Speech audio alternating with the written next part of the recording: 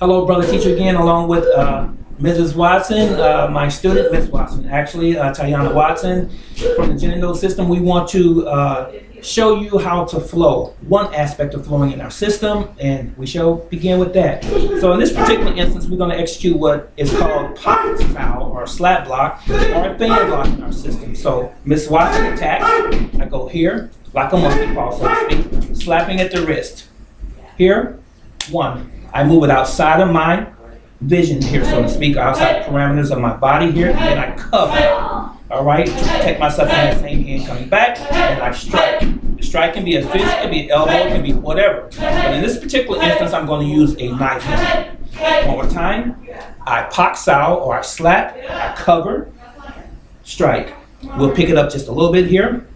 One, two, three. The whole idea is that you want it to seem as though it's one technique, and all only this can be achieved by repetition. One more time. One, two, and three. Pick it up. One, two, and three. And real time, that's the technique. Did I hurt you? No, sir. Okay, we're gonna do one more time. Slow. One, two, and three. One, two, and three. Those are three counts. A little faster. One, two, three. And real time. That is what the technique looks like. That's how we flow in Jinen-Do. And with that, we'll see you next time. So long.